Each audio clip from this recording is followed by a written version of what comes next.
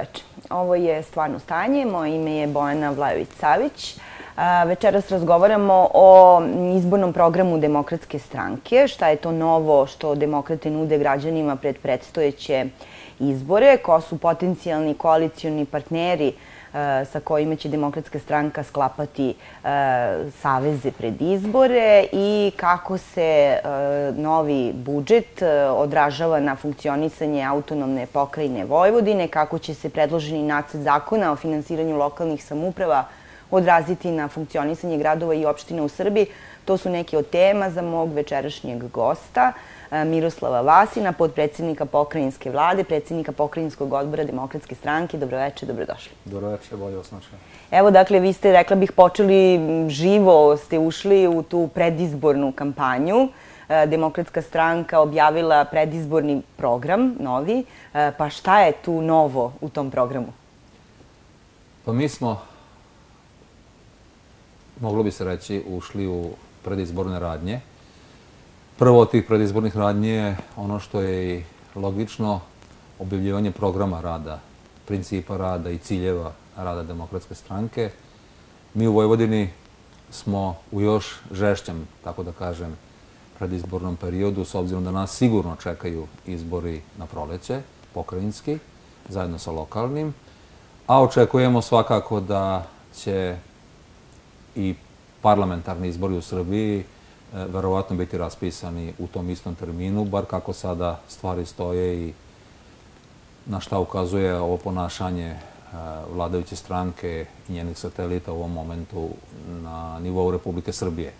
Prema tome, sigurno da je moment da naša stranka, da demokratska stranka, kroz svoj novi program prikaže građanima Srbije šta je to što nudi kao novo u odnosu na dosadašnje. Iako E, smatram da primetba kako demokratska stranka treba da ponudi neki novi program i jeste i nije bila opravdana. Demokratska stranka ima svoj program i ona svoje principe delovanja nije menjala već maltene od svog osnivanja. U zadnjih 20 godina zna se šta je demokratska stranka, da je to jedna građanska stranka koja se zalaže za evropski put Srbije, koja je socijaldemokratska u svojim opredelenjima, i koja u krajnjem slučaju pokušava da promoviše vrednosti građanskog društva. Prema tome, kada uzmete ta tri osnovna postulata, onda se može reći da, čini mi se da je to bilo malo malo pomodarstvo govoriti da demokratska stranka treba da ponudi program građanima Srbije. Ali, uzimajući u obzir da svaki program i svi principi treba da budu konkretizovani, mi smo sačinili ovaj program koji ovih dana promovišemo širom Srbije. Sinoć je bila promocija u Užicu, večera se promocija u Nišu. Mi u Vojvodini radimo promociju u svim opštinskim odborima i gradskim odborima demokratske stranke. I čini mi se da su do sada reakcije građana Srbije, oni koji imaju priliku da prisustvuju tim prezentacijama, povoljni. Mi kroz ovaj program pokušamo da pošaljemo upravo te poruke znači, o, o evropskom putu Srbije, o tome da evropski put nema alternativu, o tome da kroz socijaldemokratske postulate stranka mora da vodi računa o interesima i zaposlenih, e, ali i poslodavaca. Kroz ovaj program smo eh, dali neka nova rešenja koje se tiču koje se tiču radnih odnosa. Smatramo da postojeći zakon o radu eh, nije postigao nikakav efekt koji se eh, očekivao ili koji je koji je na neki način promovisan od strane vladajuće stranke. Smatramo da Srbija ne može ići dalje dok nema socijalnog dijaloga, jer socijalni dijalog, odnosno dijalog između sveta rada i sveta kapitala, dijalog između sindikata i poslodavaca je povukao veliki broj evropskih zemalja napred. Vi ne možete ići napred ako e, vlast donosi odluka, ne konsultuje, ne konsultuje one koje treba konsultovati, a to su sindikati i poslodavci, malte na svim pitanjima koje se tiču e, života jedne, jedne države. E, tako da je socijalni dialog nešto što u tom delu našeg programa koji promoviš socijaldemokratiju je osnov. Ali kada predsjednik e, demokratske stranke Bojan Pajtić kaže da demokratska stranka novim programom objavljuje rat siromaštvu i strahu, e, to prilično pretenzijozno zvuči, naročito ovaj prvi deo vezan za siromaštvo i naravno uvek će vas svi pitati zbog čega niste taj rat siromaštva objavili dok ste bili na vlasti. Pa ja mislim da mi jesmo bili objavili rat siromaštvo, smo bili na vlast. Ja ću podsjetiti da je 2008. godine Srbija imala najbolje pokazatelje e, privredne od 1990. godine, odnosno početka one sveopšte krize u kojoj smo zapali kroz ratove i kroz sva ostala grozna događanja. 2008. godina je bila godina velikog ekonomskog uspona Srbije, porasta prosečnih zarada, E, porasta stranih investicija. Onda je išla 2009. godina i tu ću podsjetiti da je Srbija kroz tu najveću svetsku ekonomsku krizu u istoriji koja je bila 2009-2010. godine prošla relativno, relativno neokrnjena, za razliku od mnogih drugih ekonomija koje su pretrpali katastrofalne posljedice. 2011. godina je bila godina kada je poslednji put e, zabeležen rast plata i penzije u Srbiji. 2011. Godina je bila godina kada je Srbija imala 3,5 milijarde stranih investicija, više nego 2012. 2013. 2014. i 2015. zajedno. Znači, ne može se reći da nismo vodili računa uh, o tome da se borimo protiv siromaštva, ako uzmemo u obzir da je u naše vreme dolazilo do rasta plata, rasta penzija. To što neki danas to predstavljaju kao loš ekonomski potez, to su marketnički trikovi. To su marketički trikovi, jer je sasvim normalno bilo da je demokratska stranka, dok je bila na vlasti, promovisala princip da plate i penzije rastu u skladu sa rastom troška e, života. Prema tome, Ako danas govorimo o tome da li smo brinuli ili nismo brinuli brigu o siromaštvu, ja bih rekao da jesmo daleko više nego ovi koji su danas na vlasti, kojima su puna usta ekonomskih uspeha, a u suštini svi pokazatelji pokazuju potpuno suprotno. E, za program e, pojedinci kažu e, da je prepisan od programa stranke Saša, odnosno pokreta Saše Radulovića, dok lider DS-a tvrdi da je on najsličniji program u socijaldemokratske partije, Nemačke socijaldemokratske partije. Šta je tu ono što je izvorno demokratske stranke, srpske demokratske stranke? Pa vidite, e, uvek kada upoređujete programe stranaka koji imaju građanske vrednosti i socijaldemokratiju na umu, vi ćete nići na veliki broj rešenja koja su slična. Jer tog se ne može bežati. Kao kad bi se uporedili programe desničarskih stranaka, pa ste nići na 90% istih rešenja, iako su oni 10% recimo razliku u nekim nijansama. Prema tome, e, sve one stranke koje u Srbiji promovišu, ovo što mi promovišemo, imaće, imaće jednostavno, to je prirodno, e, mnogo rešenja koje će biti slična. I nama ne smeta. Nama ne smeta kada se kaže da su nam neka rešenja slična kao kod nekih drugih stranaka koje imaju, recimo u oblasti ekonomije, u oblasti socijaldemokratskog opredeljenja, slične nazore kao i mi. Socijaldemokratska partija Nemačke je stranka koja je podržala demokratsku stranku. Vi vidite koliko su intenzivni kontakti između naše stranke i jedne od najvećih stranaka u Nemačkoj, članice velike koalicije. I nama je to veliko zadovoljstvo što nas oni podržavaju. Pre neki dan je e, naš predsjednik Bojan Pajtić bio u Nemačkoj, sastao se sa liderima socijaldemokratske partije Nemačke, sastao se s ministrom njestrojnih poslova i obavio vrlo ozbiljne razgovore i ne bih e, želeo da e, budem demagog i da kažem da nam to ne imponuje. To nam veoma imponuje. Prema tomu, te socijaldemokratske odrednice, te odrednice koje tiču građanskog društva, koje demokratska stranka ima u svom programu, ne smeta nam ništa da druge stranke imaju slične odrednice i ne bih to smatrao hendikepom, to bi smatrao prednošću, jer u ovom momentu postoji potreba za udruživanjem socijaldemokratskih opcija u Srbiji e, kao vid e, jedne zajedničke borbe protiv ovoga režima koji, čini mi se, promoviše mnogo toga što nanosi štetu. A jeste imali negdje na umu, kada ste ovaj program pisali, e, činjenicu da se recimo u Srpskoj naprednoj stranci često zamera da je preuzela program demokratske stranke? Da li ste negdje pokušali da sada napravite tu razliku? Pa Srpskoj naprednoj stranci se to stavlja ili kao greh ili kao prednost, zavisi ko govori, s aspekta preuzimanja evropskog puta Srbije. Ništa drugo.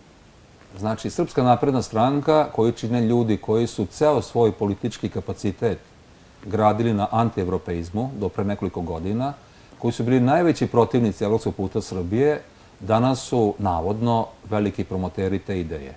Ako je to njihovo opredelenje iskreno, ja to pozdravljam, ali ne verujem da oni ljudi koji su radili ono što su radili, podsjetit ću pre nekoliko godina u Beogradu skidali plakate, e, lepili plakate Ratka Mladića preko naziva Bulevara Zorana Đinđića, koji su davali izjave 90-ih onake kako su davali, svi znamo na šta mislim, ne verujem da oni mogu da se iskreno promene i da je njihovo opredelenje iskreno. Pre bih rekao da su procenili da im marketinjski i na neki drugi način u ovom momentu se to više isplati, jer prosto je neverovatno i pitanje koliko je to i moralno. Koliko je moralno da vi u svojoj političkom veku na taj način promenite shvatanje. Znači, Ali je činjenica da su oni pre nekoliko dana otvorili prva pregovaračka poglavlja sa Evropskom unijom? To je za pozdrav i mi to pozdravljamo, ali podsjetit ću koliko je bilo potrebno, koliko je bilo potrebno učiniti napora, koraka da bi se došlo do ovog zadnjeg koraka do otvaranja.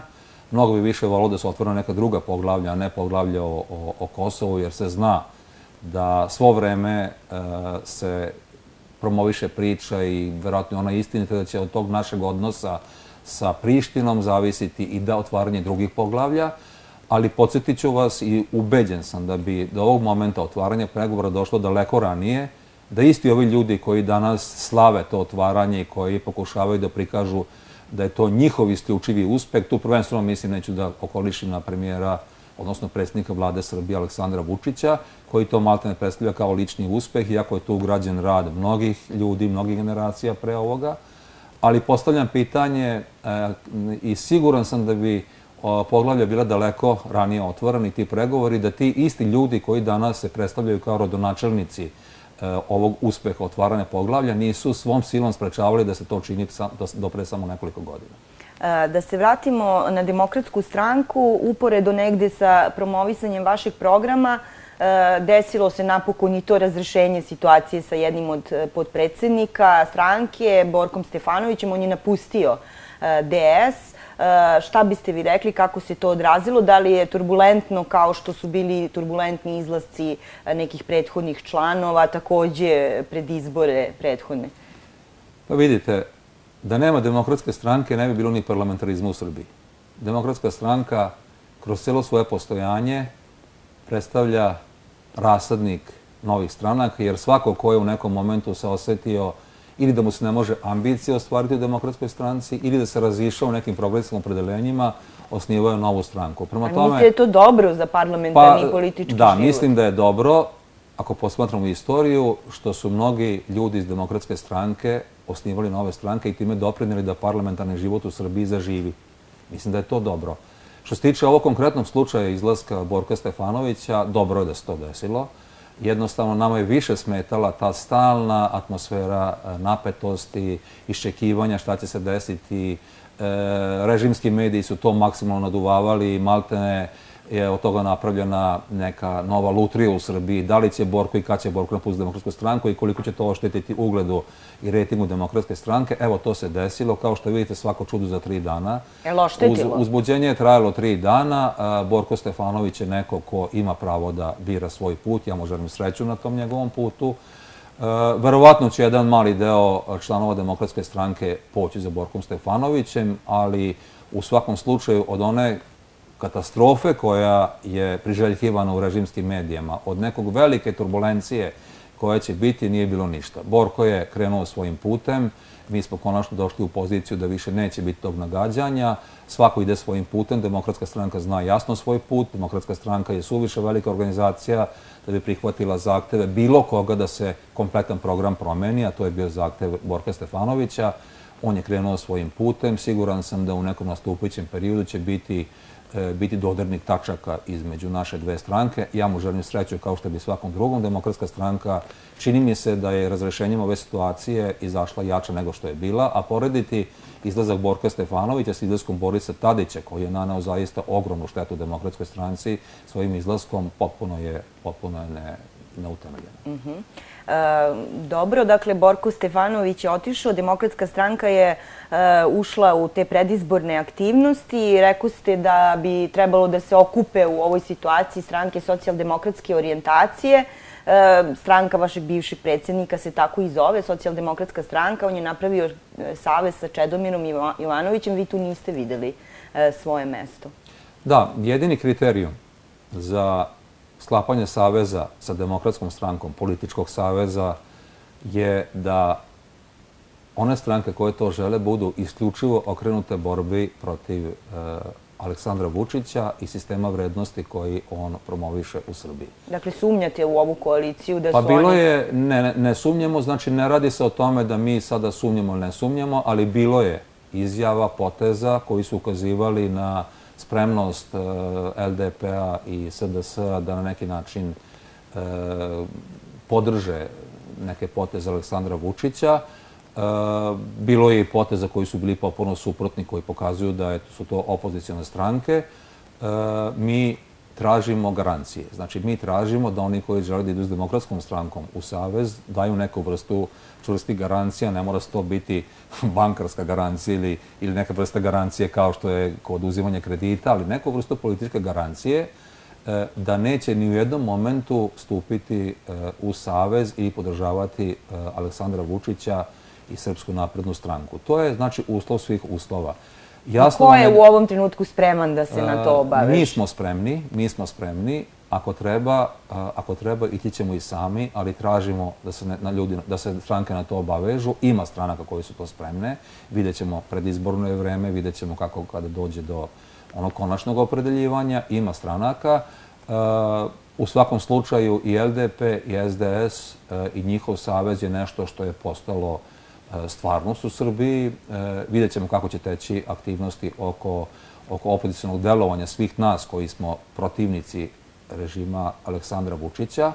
Kažem, eh, Demokratska stranka će kompletnu svoju politiku na budućim parlamentarnim izborima u Srbiji graditi upravo na suprostavljanju sistemu vrednosti eh, koju promoveš Srpska napredna stranka. I zbog toga ne smemo dozvoliti sebi bilo kakve rizike i bilo kakve eksperimente, jer eh, mislimo da je to dovoljan osnov za nastup na budućim izborima, jer ako se nastavi ova politika, ako se nastavi da se promoviše ovaj sistem vrednosti u Srbiji, koji ne preza ni od čega, koji ne preza od toga da otima vlast u lokalnim zajednicama, koji ne preza od toga da četiri godine u Vojvodini ja mogu reći šta je sve činjeno da bi se, da bi se, da bi se osvojila vlast u Vojvodini, iako su se građani Vojvodine izjasnili 2012. godine jasno koga žele na vlasti. Ako je to sistem vrednosti proti koga treba se borimo, a jeste, mi isključivo se stavljamo u tu funkciju i samo onaj ko je spreman da na isti takav način se stavi u funkciju borbe protiv tog sistema vrednosti je dobrodošao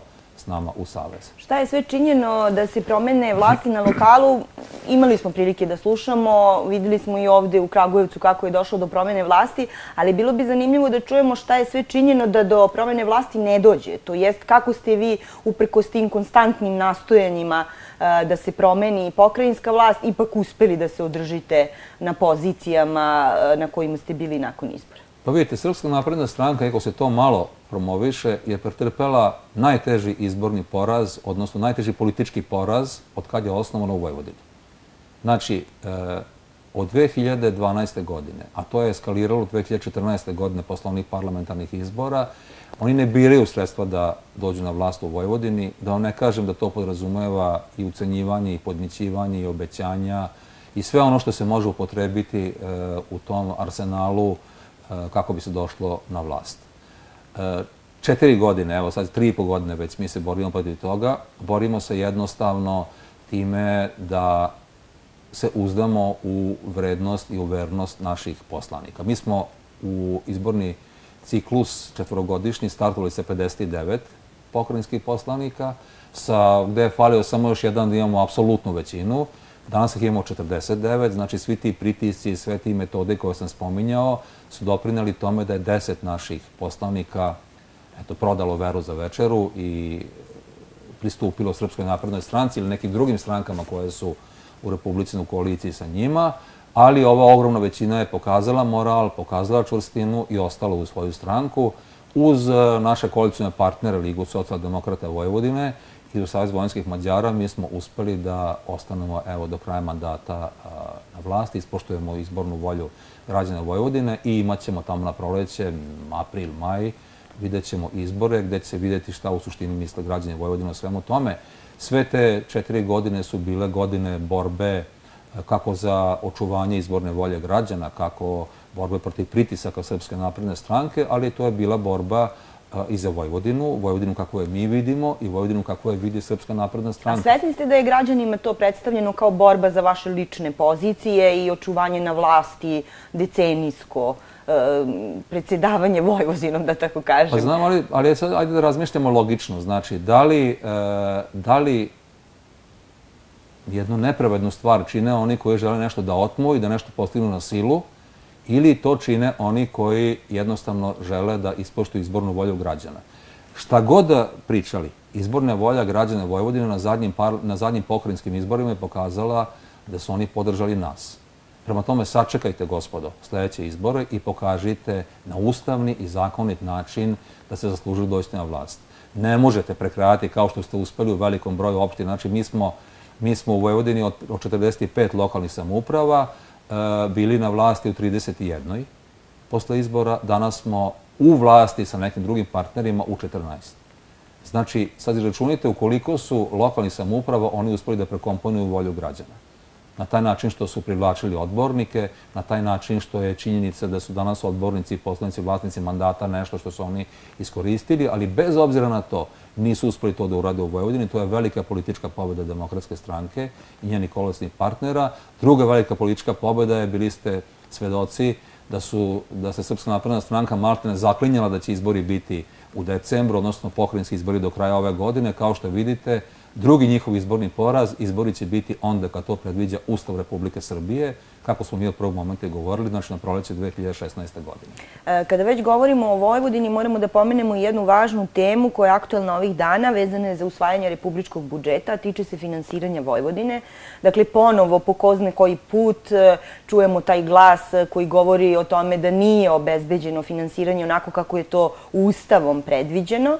E, da li ste mogli ranije, dok je DS bio stožer nekih prethodnih vlasti, da napravite sistem koji neće zavisiti od toga ko je na vlasti, a ko će autonomnoj pokrajini obezbediti da se finansira kako je to predviđeno? Vidite, ja neću biti licemer pred vama.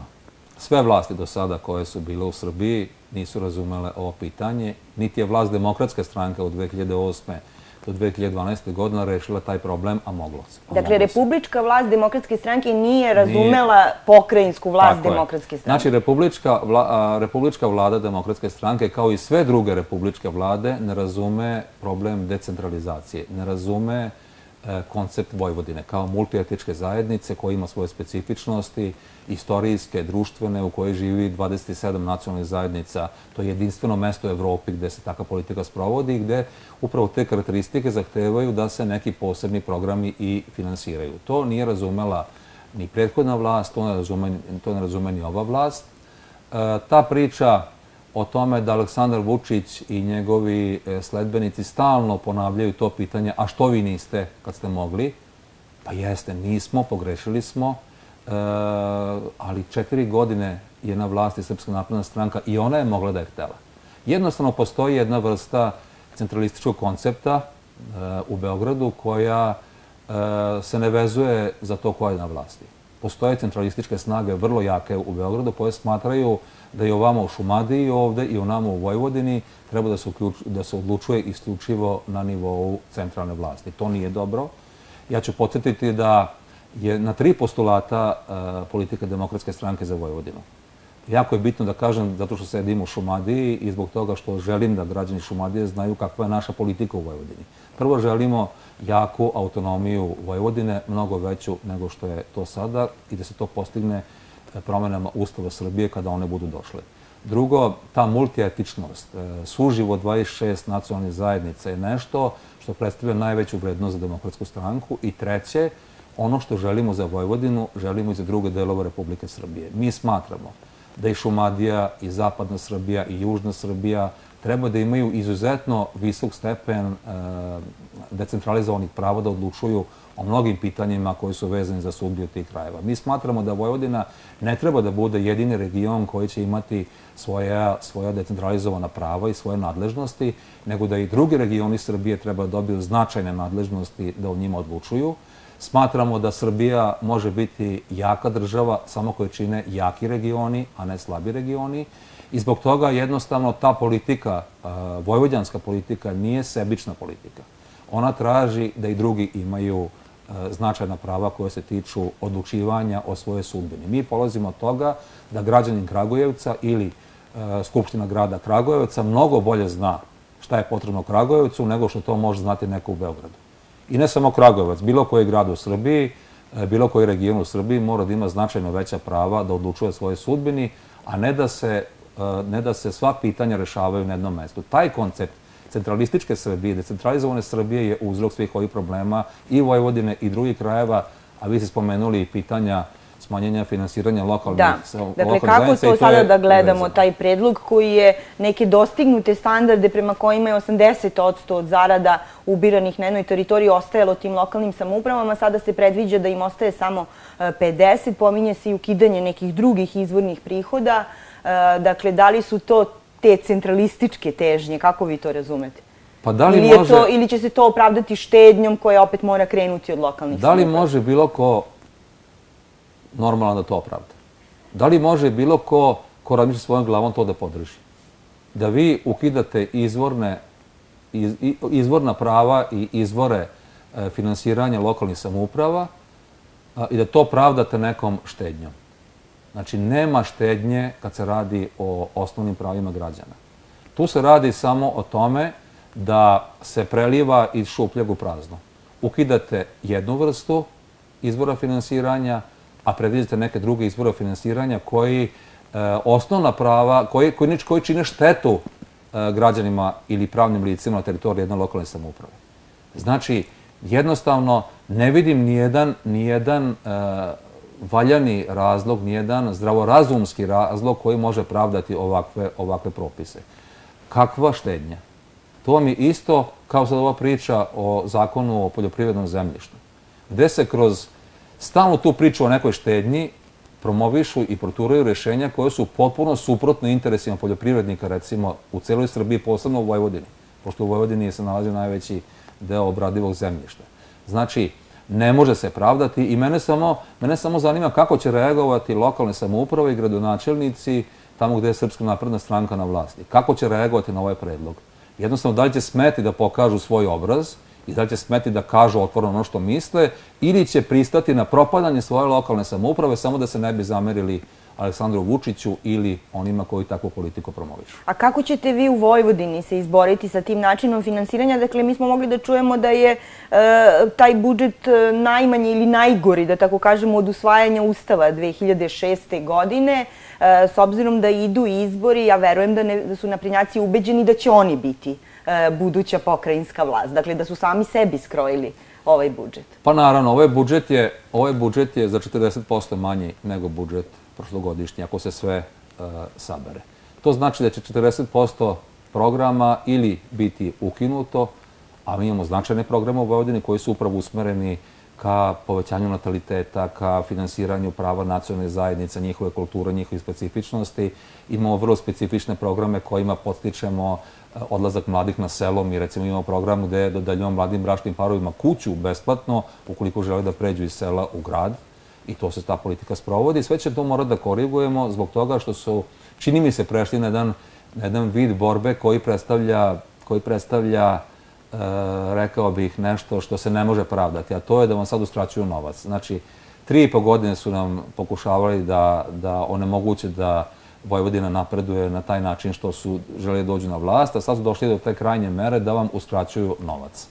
E, jednostavno, vojvodjanske lokalne samouprave, su u istom položaju kao i sve lokalne samouprave na Republike Srbije sa strašnim smanjenjem e, sredstava za svoj budžet, pokrajina takođe. E, da li to predstavlja jedan vid političke borbe? Ja bih rekao da, jer ne može niko da me ubedi da ako imate jedan kolač, on se može rasporediti ili ovako ili onako, da je on raspoređen na, na bolji način. Čak ima neka, čak ima recimo neka E, neke procene koje govore da je više usmereno, ne znam, u Smederevsku železaru ili u neke druga preduzeća koje stalno prave gubitke i gdje država ulazi subvencijama nego što je to usmereno za lokalne samouprave ili za, ili za Vojvodinu.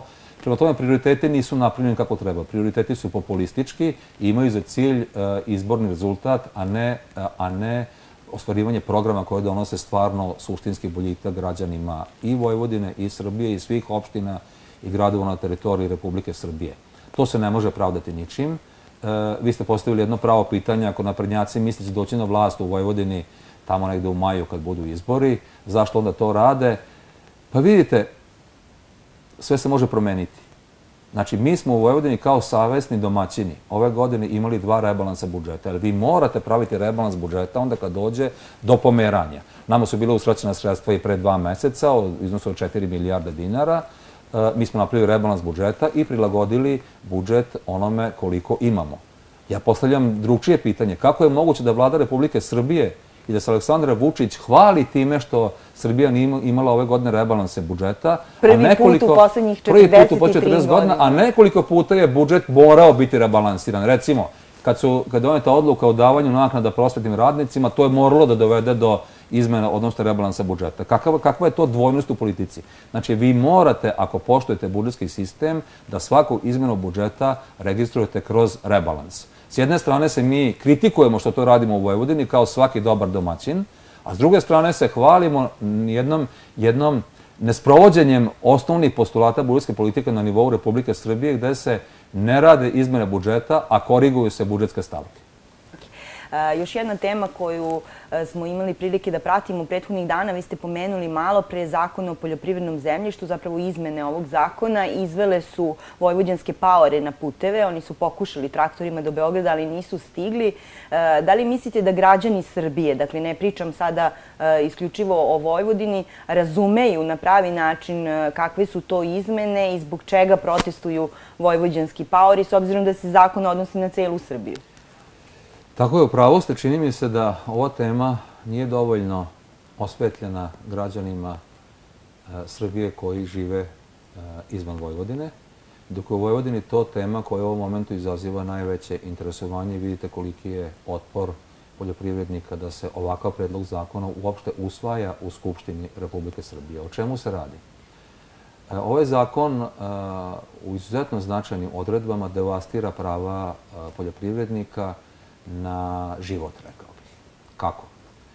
Po njemu je predviđeno da se 30% poljoprivrednog zemljišta koje je u državnoj svojini, koje se danas izdaje u zakup poljoprivrednicima na osnovu licitacija, da se 30% tog ukupnog zemljišta izda eh, jednom pravnom licu, eh, domaćim ili stranom, po odluci vlada Republike Srbije, a na predlog lokalne samouprave. Šta to znači? To znači da će, da bi 30% onih e, poljoprivrednika koji danas bukvalno žive od zakupa državne zemlje, koji su umeđu vremenu kupili mehanizaciju, zadužili ste, ostalo bez zemlje. E, to znači da bi veliki broj mladih e, poljoprivrednika koji su ušli u procese obrade zemlje, jer su u prethodnih nekoliko godina mogli da zakupe zemlju, ostali bez mogućnosti da rade. To znači da bi čitava sela u Vojvodini, a podsjetit ću, Vojvodina je kolonizacijom raznim kolonizacijama, pa i dolaskom i dolaskom uh, u raznim vremenskim periodima, postoje čitava sela koja su radila u takozvanim kombinatima, nekada koja su radila na državnoj zemlji i gde ljudi nemaju u privatnom vlasništvu zemlje, nego se baziraju na obrađivanju državne zemlje. Ako vi 30% tog zemljišta izdate u zakup na 30 godina, kako zakon predviđa, pravnom licu jednom, onda to znači da ste 30% paora lišili egzistencije, odnosno omogućili ste da 30% najplodnije zemlje u Evropi, jer vojenska zemlja je najplodnija u Evropi, oni ne mogu da obrađuju. Ta priča e, ministarstva kako postoji neobrađena zemlja nije tačna. Su da, nama je predstavljeno da je reč o zemlji koja je zaparložena i u znači- Korovu i na kojoj godišnje država gubi milione evra, dok će u ovom e, slučaju zapravo zaraditi toliki znači, novac. E, naši poljoprivrednici tvrde i ja odgovorno tvrdim da u Vojvodini ne postoji metar za, par, za parložene zemlje. Naročito uh, u on, postoje pašnjaci, znači gde, koji su pogodne za stočarstvo, ali obradiva zemlja je, postoji veliki manjak obradive zemlje i postoji mnogo veća potreba nego što ima. E, ta neka vrsta zloupotrebe gde se ne, ne, ne odvaja Vojvodina od e, Srbije, u tom delu je neprihvatljiva. Tačno je da u Srbiji užoj postoji zemlja koja se ne obrađuje. Ali ta najkvalitetnija zemlja koja je u Vojvodini ne postoji, e, ne postoji neobrađena, naprotiv, ponavljam, postoji potreba za njim. Prema tome, to je jedna zloupotreba, nema neobrađene zemlje. Sve se ovo radi sa namjerom da se nekim investitorima iz inostranstva, bilo da je to Nemački ili Ujedine Arabske Emirate, nije bitno, izdaju velike količine vojvodjanske zemlje kako bi oni tu razvoja svoju industriju, proti čega se naši građani protive. Dakle, vi tvrdite da tu čak ne postoji ni računica države prema kojoj će ona više zaraditi ukoliko izda zemlju tim stranim kompanijama uh, ili ukoliko izda uh, paorima vojvođanskim koji je već obrađuju. Ja ne znam kakva je računica države, ali šta vam vredi bilo kakva računica države ako su njeni građani oštećeni? Ako je ogroman broj porodice sveden na egzistencijalni minimum ili na problem u svom bitisanju. Prema tome, Ja znam to da bi veliki broj poljoprivrednika u Vojvodini ostao bez mogućnosti da se bavi poljoprivredom. Drugo, taj zakon o poljoprivrednom zemljištu e, trebao bi već sada da sadrži određene odredbe e, kojima će se propisati uslovi pod kojim mogu strani državljani da kupuju zemlju na teritoriji Republike Srbije. 2017. godine mi ćemo biti u poziciji da ćemo morati da po sporazumima koje smo zaključili sa Evropskom unijom dozvolimo jednak e, tretman pri prometu zemlje i domaćim i stranim državljanima. Svaka zemlja u Evropi, svaka zemlja u Evropi propisuje uslove gde štiti svoje građane. Recimo, propišu uslove da onaj ko želi da kupi zemlju mora da ima pet godina boravišta na teritoriji jedne države ili neke druge uslove, mora da, mora da ima registrovanu firmu pet godina i tako dalje. Samo mi u ovom zakonu to ne činimo. E, računajući da će biti, da će biti vremena da se to učini, neće biti mnogo vremena. Vreme je da se tim zakonom i to reguliše na dobrobit svih građana Srbije, ne samo, ne samo Vojvođana. Prema tome, e, jako je mnogo toga što šteti vojvođanskim paorima, oni to pokazuju. Kad vi nekom na 30 godina izdate, napravite ugovor o zakupu, trećinu državne zemlje, onda ta priča da će se ti ugovori moći raskinuti pada u vodu. Ja sam pravnik i svaki pravnik zna da onda kad se zaključi čvrst ugovor, njega je teško raskinuti, odnosno kad se raskida, postoje neki raskidni uslovi koji mogu podrazumevati obeštećenje nekoga. E, zaključenje ugovora na 30 godina u izdavanju zemlje, znate, znate, znate koliko je dug period 30 godina, je nešto što bi trajno ovu generaciju vojvodjanskih poljoprivrednika ostavilo bez mogućnosti da, da obrađuju 30% državne zemlje u Vojvodini. Može li ova važna tema da na neki način ujedini politički aktere u Vojvodini da stanu iza udruženja poljoprivrednika i s njima pokušaju da možda ispregovaraju neko bolje zakonsko rešenje? Svakako da može i ona je već ujedinila maltene političke stranke i levice i desnice i srednjeg centra. Interesantna je pozicija Srpske napredne stranke, njihovih poslanika u Skupštini Vojvodine, njihovih odbornika, koji u ovoj situaciji ne znaju šta da rade, svesni su svesni su štetnosti ovog zakona, a s druge strane, iz vernosti prema svoje stranci ne znaju kako da reaguju i oni za sada ćute. Za sada ćute, ali mislim da svaki zdravorazumski rezon i svaki čovek koji i ole drži do sebe će morati u nekom momentu da se uprostavi jednom ovakvom zakonu, da se založe da se ovaj zakon povuče iz procedure, da se napravi jedan zakon kroz dogovor sa poljoprivrednicima, kroz dogovor sa, sa njihovim udruženjima, jer onda on može biti pravi. To vam je ista priča kao zakon o radu. Zakon o radu je ušao u proceduru, a da pre toga nije napravljen dogovor i nije proizišao iz socijalnog dijaloga.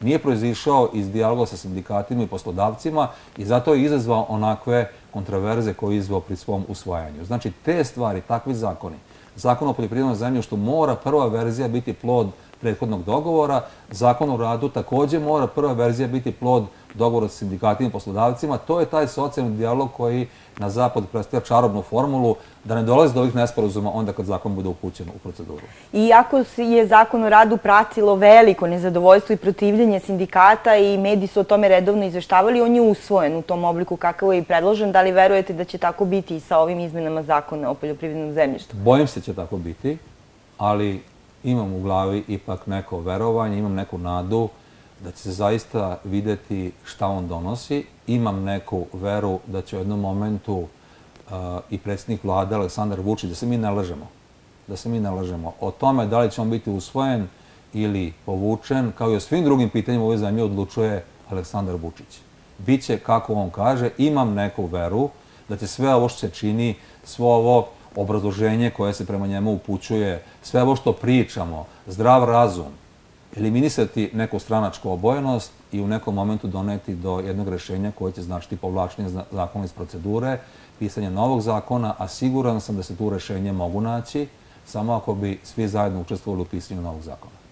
E, moram da vas pitam za jednu temu koja se koristi, koju vaši politički protivnici koriste za obračun sa Eh, liderom vaše stranke i pokrajinskim odborom. Često se o tome eh, govori o javnosti. Dosta su teške optužbe u pitanju. Dakle, njih je nedavno izneo i poslanik eh, Srpske napredne stranke, Aleksandar Jović, i zbog toga je i tužen. On tvrdi da je Bojan Pajtić oteo kako on kaže, milion i po evra od dece ometene u razvoju. Vi ste njega tužili, odnosno Bojan Pajtić, demokratska stranka, ali zbog čega, otkuda dolaze E, takve teške optužbe. Ovo nije prvi put da se o tome govori. Pa da li ikoga ove zemlje čudi da iz usta gospodina Jovičića, Martinovića i tih ljudi koji su do pre tri godine takve iste optužbe sipali po Srpskoj naprednoj stranici, čuje takve reči. Problem je u sistemu vrednosti koji se malo čas spominjao. Da vi nekog optužite da je uzeo milion i 500 hiljada eura od, e, od e, dece koja su hendikepirana i da to prođe bez ikakvog odjeka institucija, to je, on, to je taj sistem vrednosti koji je navedno Srpska napredna stranka. U svakoj normalnoj zemlji da neko tako nešto izjavi, ili bi on završio u zatvoru, ili bi završio u zatvoru onaj za koga je on to izjavio, ukoliko se to dokaže. S obzirom da Srpska napredna stranka tri i po godine iznosi najmonstruožnije optužbe na račun i Bojana Pajtića i pokrajinske vlade, a da umeđu vremenu niko nije niti završio u zatvor, niti je bilo koja optužnica podignuta, onda je valjda jasno o čemu se tu radi. Radi se o dnu dna političkog morala. Ali se vodi neki proces vezano za rekonstrukciju tog dvorca u kom je trebalo da bude smešten e, dom za rehabilitaciju sa u razvoju? Vodi se proces i vrlo je jasno razjašnjeno zašto je došlo do tog zastoja, kao i u mnogim drugim slučajima. Ta će akcija biti završena. Znači, vi kada radite jednu investiciju, vi zavisite od mnogo čega. Niko neće da kaže da je pokrajinska vlada u prethodnih 7 ili 8 godina završila tri klinička centra, 9 mostova, 51 dom zdravlja, 35 sportskih hala u Vojvodini. O tome niko ne priča, ali se onda iz celog tog eh, mnoštva onoga što smo uradili i popolno investicijno preporodili u Vojvodinu izvuče jedne ili dve investicije koje nisu okončane iz razno raznih razloga, zbog nekih dozvola, imovinsko-pravnih e, problema koji se javljaju i od tog se napravi slučaj. Mi ćemo sigurno u ovoj kampanji upoznati javnost Srbije sa time šta smo sve u Vojvodini za ovih deset godina napravili. Pa ćete vidjeti da je to nešto od čega će svakom zastati dah. Znači, koliki broj bolnica, socijalnih ustanova, škola, crkava u krajnjem slučaju. E, podsjetit ću vas da je Fruška gora 2000. godine bila popuno devastirana ti srpski manastiri, ta sveta gora srpska za koju se govori. Danas su svi ti manastiri obnovljeni i predstavljaju biser turizma cijele Srbije. E, škole, e, obdanište, vrtići, sportske hale. O tome niko ne priča, nego se izlače iz konteksta neki pojedinačni slučajevi za ovako monstruozne optužbe. Dakle, tvrdite da je reč o klasičnoj političkoj zloupotrebi i da li će to podnošenje krivičnih prijava biti način e, da se borite protiv Pa šta u... Mi, mi još uvek računamo da postoje institucije ovog društva, jako je Srpska napredna stranka ovakvim tvrdnjama ponižava da ih više ne može ponižavati. Ako neko kaže da sam ja lopov ili da ste vi lopov, a to ne potrebljuje nijedan nalaz državnog organa, onda je to ponižavanje tih institucija. Prema tome, ako neko tvrdi da je neko ukrao milion i petsto hiljada eura, a ne postoji o tome nijedan trag u instituciji, on ponižava i pocenjuje tu instituciju. I to je najveća opasnost za društvo u Srbiji u ovom momentu, ponižavanje institucija. Odluke donosi jedan čovek, umjesto donosi institucije, svako sme da kaže svašta, a za to da ne odgovara. I to je taj sistem vrednosti protiv koga se bori demokratska strana.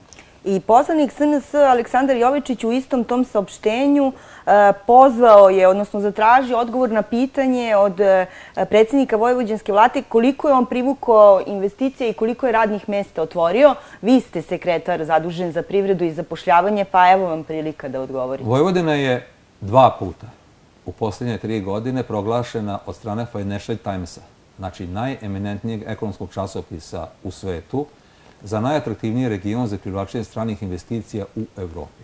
To zvanično postoje diplome, to svi znaju. Vojvodina u ovom momentu, za vreme naše vlasti, u Vojvodini je 45% svih investicija stranih koje su dovedene na teritoriju Republike Srbije. 45% je u Vojvodini, iako je Vojvodina po geografskoj veličini mnogo manje od 45% cele Srbije. E, u Vojvodini je otvoreno e, ogroman broj radnih mesta u tim kompanijama, zahvaljujući e, posticajima koje je davala Vojvodjanska vlada. Bilo je poticaja naravno i SIEPE, znači od republičke vlade, ali su ti poticaji za Vojvodinu bili daleko manji nego za nego za jug Srbije, recimo, što mi pozdravljamo. Ja isto, ja lično smatram da, naravno, da na razvijenim krajevima treba da budu veći posticaj nego u razvijenim. Ali zahvaljujući aktivnostima pokrajinske vlade, njenim dopunskim programima, Vojvodina ima daleko najveći broj stranih investicija na nivou Republike Srbije. Sve što je Aleksandar Vučić otvarao u posljednje tri godine u Vojvodini, sve te strane investicije su realizovane i započete u vreme vlasti demokratske stranke i realizovali u značajnu pomoć pokrajinske vlade. Evo dajte neku konkretnu u posljednjih godinu dana. U posljednjih godinu dana otvoren je Siemens, otvoren je Bosch, sve ono što je Aleksandar Vučić otvarao, to su, to su investicije koje su začete njihovo dovođenje u vreme vlasti demokratske stranke na nivou Republike i uz pomoć e, e, investicija, odnosno podstajnih mera pokrajinske vlade. A da li vi u Vojvodini koristite istu statistiku za obračunavanje broja zaposlenih, odnosno nezaposlenih, kao što ih koristi i Republička vlada? Jer znamo da je bilo puno polemike u javnosti o tome E, koliki je broj nezaposlenih u Srbiji, da li se on smanjuje, da li je moguće da se smanjuje broj nezaposlenih, ali da se smanjuje i broj zaposlenih? Naravno, to je, to je moja oblast delovanja i ja mnogo o tome znam. E, svi ekonomski pokazatelji su u ovom momentu u Vojvodini najbolji od svih regiona u Srbiji. Mi imamo najveći izvoz. E, sa Kragujevcem, odnosno sa, sa Šumadijom se tu smenjujemo. Onda kad je veći izvoz Fijata, e, onda Šumadija bude prva sa 33%, mi drugi sa 32,5%, onda kad se smanji izvoz Fijata, mi budemo prvi sa 32,5%, Šumadija bude druga sa 32% i tako se po tim statičkim regionima to meri.